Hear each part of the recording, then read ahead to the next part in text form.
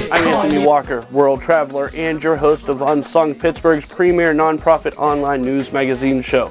Today, we're putting new studio tech to use and staying out of the cold while we're at it. But while we're keeping warm, some don't have a place to do the same. That's why in this edition of Unsung, we take a tour of Shepherd's Heart and see firsthand how this valuable safety net helps our community. We also hear from the playwright behind Breath and Imagination at City Theatre. But first, let's check in with the latest happenings from our area nonprofits. On January 25, 2013, the United States Department of Education released new guidance to schools and school systems throughout the nation that receive federal aid about the requirements of providing quality sports opportunities for students with disabilities. While the guidance does not actually make new laws, it does identify the responsibilities that schools and school systems have under Section 504 of the Rehabilitation Act. This guidance aims not just to protect rights, but to promote unity and has instantly given inclusive sports more relevancy and focus in schools. The guidance also suggests that all students, not just those who join a sports team, should be exposed to the health, fitness, and nutritional benefits of physical activities. Special Olympics Pennsylvania can help schools get their equitable sports programming up and running. More information can be found at the address on your screen. Bricolage takes its popular Midnight Radio Junior on the road to Washington County Middle Schools thanks to a generous grant from the Benedum Foundation. This collaboration will support the 8th grade social studies curriculum and will be directly inspired by the history of the Civil War, as well as the 150th anniversary of the Battle of Gettysburg. This series of workshops began during the first week of March with a live performance of a Midnight Radio Junior style production for the school's 8th grade students. Every Tuesday, March 19th through May 7th, Bricolage will present a workshop that explores the diverse aspects of performing from script writing and performing to audio technology and visual graphics. Building upon the district's curriculum, the in-classroom workshops will focus on exploring what the students are already learning.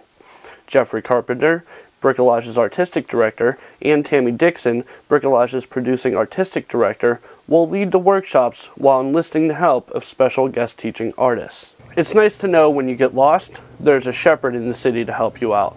Unsung was happy to tour Shepherd's Heart and find out the story about this organization. Shepherd's Heart Veterans Home, we have a 15 bed transitional housing program where many of our veterans can stay upwards of 12 months to 15, 16 months. When they leave here, uh, normally they will have their own place, being able to sustain themselves.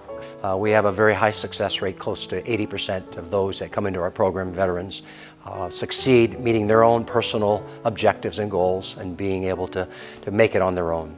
The people that have graduated from here are also in the VA healthcare system, and that um, a lot of them are continuing um, to be productive members in society and trying to teach others. My wife and I moved to Pittsburgh in early June of 1993. I began walking the streets, going under bridges here in Pittsburgh uh, that summer. Uh, and over the course of the next uh, year and a half, two years, I was just stunned by all the, not just the numbers of homeless individuals, but homeless veterans. And so, it literally, our first Sunday service was in late August of 1995. And then in 2005, we were able to purchase our current building. And in 2007, we were able to open up uh, the transitional housing for homeless veterans on the second floor. We have a homeless drop-in center open seven days a week in the mornings during the winter, then six days a week during the rest of the year. And we'll see anywhere from 40 to 50, upwards of 100 homeless individuals, of which probably 20 to 30 are homeless veterans still living on the streets. So on a daily, weekly basis, we'll see anywhere from uh, five to 600 uh, during the course of a week where we feed uh, all the homeless. We have them breakfast, we have laundry, we have showers, we have uh, counseling, drug and alcohol, we have morning prayer, individual prayer as well as corporate prayer, as well as we have referral to drug and alcohol counseling programs or recovery programs. So we have a free uh, shuttle bus service. We provide transportation, free transportation for the homeless and the poor. There's the VA homeless healthcare uh, uh, outreach teams that come down and work with our veterans. We work with uh, Operation Safety Net, uh, which is a medical outreach team through Mercy Behavioral. Western Psych provides uh, on-site uh, psychiatric Um, we have services from uh, Sunday services where we work with 150 organizations, 100 plus churches of all denominations uh, that provide food on Sunday nights and donations. Uh, we, we receive an estimate of between 100, uh, 1.5 million to 2 million dollars worth of gift in kind donations a year just to feed and house and, and provide services for the homeless. In Allegheny County, the numbers range, uh, homeless number of homeless individuals in general, we'll see about 12 to 1,300 on, on any given night, but we'll have easily double, if triple that, will experience homelessness. Of that, usually 20 to 30% are veterans. Back in um, 2000, I wound up coming into the VA healthcare system program. Uh, I myself was homeless. Uh, in that I ran into some problems with some drugs and alcohol and by God's grace and mercy I was able to be able to get a house which I never thought that I would be able to do um, through Pastor Mike. Uh, we own our duplex. Uh, on the one side we stay and on the other side we rent to veterans. I just feel that uh, the staff's here for us all the time, and uh, me being by myself here in these one-man rooms, uh, it just uh, gives you a lot to think about. Why you're here in the first place, uh, how I sort of lost everything, and uh, each day that I'm here, I get stronger. I guess I'm here due to probably more financial issues. Um, this place has been really great to give a relief in the stress that would probably come along with that, and a chance to, you know, get your mind back together and you know get pointed in the right direction. And because of the help here, uh, I will be uh, going to a, a, job in about uh, one week from now, and uh, I also have an apartment that's uh, with the help of the VA. You know, I, you know, I can move out and you know get my life going again. I mean, the people here are really nice to me. People that uh, I'm getting better on computer, which is one of my weaknesses.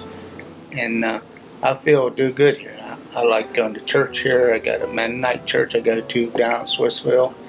And uh, it's a good place for me right now because I'm weak in ways. And, you know, good place for me to get my strength back together.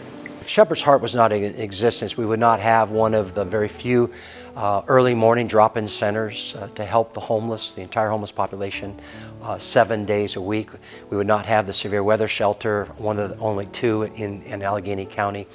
There will be a lot more people out on the streets. Resources that we connect them up with seems to help in the or sustain the crime rate would be higher, the jail rate would be higher, they know that this here is a safe place. Our funding is provided in, in uh, a vast number of uh, different uh, resources. On our Sunday offering is about 20 to 25 dollars, mainly nickels and pennies and dimes and quarters. And so we, our Sunday offering, because we are a church, is very, very little. And so our, our support comes from uh, a wide number of grants, private individuals, private businesses, churches, uh, as well as the federal government, the, the, VA and our programs. Shepherd's Heart, you could go to our website, www.shephart.org or shephart.com, either one, and it'll take you to our website that talks about our homeless veteran program as well as the larger program of what we do with Shepherd's Heart.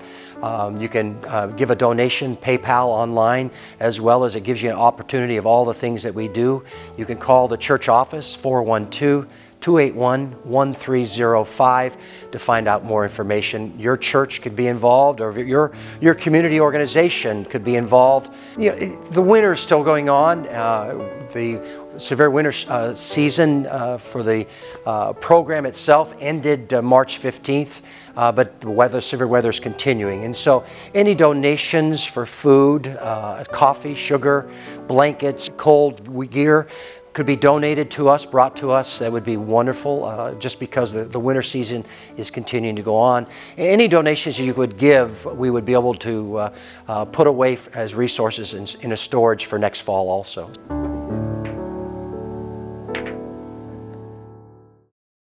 Daniel Beaty brings breath and imagination to City Theatre on Southside.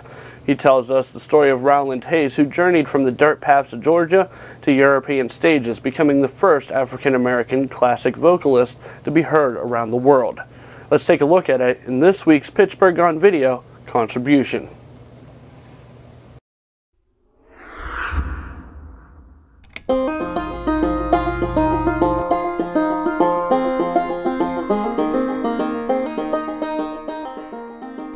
Breath and Imagination is the story of Roland Hayes, the first African American classical vocalist of world renown. This man came from the community of his mother just post slavery. He's the son of a slave who sang before kings and queens. Um, and at the heart of it really is a love story between a mother and a son. I'm thrilled about the cast we have for Breath and Imagination. About six years ago, it was my mother's 60th birthday, and so I brought her into New York to see some plays. And one of the ones we saw was Dessa Rose that was playing at Lincoln Center. And in that cast was Kecia Lewis, who uh, was singing a role in that show. And when she sang, she just had such heart and such passion. I like felt it in my body, I felt it in my core. And I leaned over to my mother and I said, I'm going to write something for her. and don't you tie. Every round goes and. Keep your hand on the plow. Hold on. Hold on. Hold on. And then we also needed an actor singer who could really communicate the essence and the heart of Roland Hayes, who was a charismatic but really loving man um, with a real sensitivity in his singing. And I had heard Jubilant Sykes uh, CDs before and seen some recordings of his music. And so when we learned that he had some interest in the piece, um, I knew it was going to be perfect casting.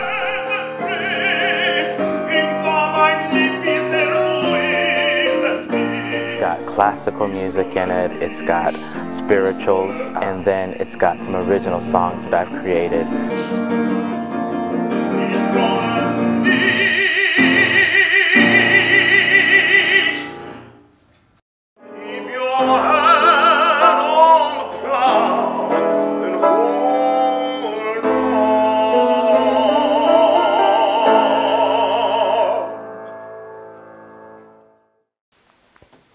On. April 5th, as part of Unblurred, the Irma Freeman Center will open Safe Light, a father-son multimedia collaboration between Nick and Dennis Childers, exhibiting digital prints and an experimental video installation.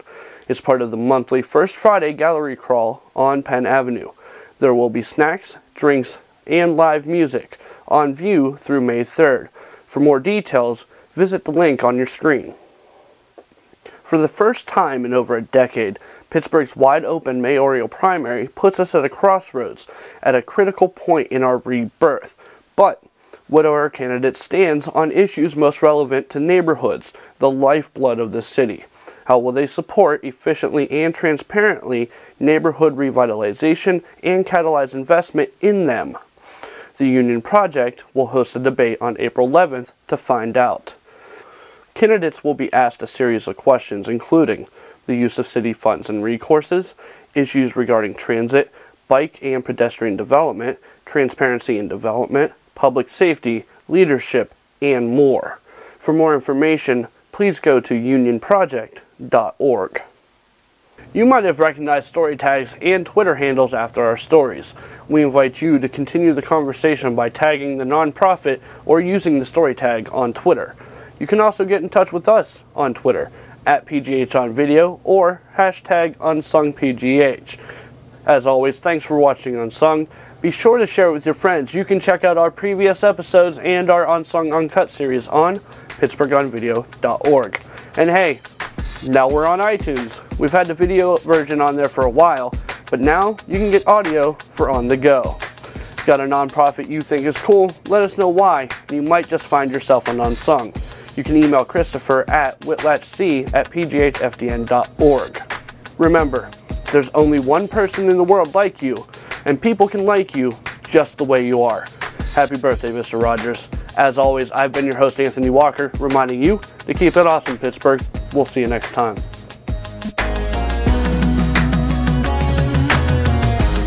Said I'ma crush it. Call me the golden boy, cause it shine whenever I touch it. Don't rush it, the flow come naturally. Actually, the whole hood after me. Masterpiece, I outran a pace car.